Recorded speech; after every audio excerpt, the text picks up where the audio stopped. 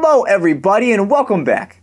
My name is Daniel, the one pontoon human pontoon boat, just looking for my other pontoon, Valvo. And all this talk on humanoid vehicles got me thinking about transformations. And there's one thing that the Autobots and Decepticons can agree on, is that math is cool. And they probably honestly both like Kelly Clarkson. I mean, who doesn't? But we're way off topic. Anyway, let's get mathin'. Remember last time when we talked about graphing polygons and I said it was kind of cool? Well, we just didn't graph polygons in the coordinate plane for no reason.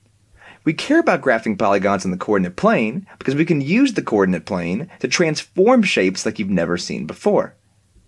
A transformation is a change of position or size of a figure.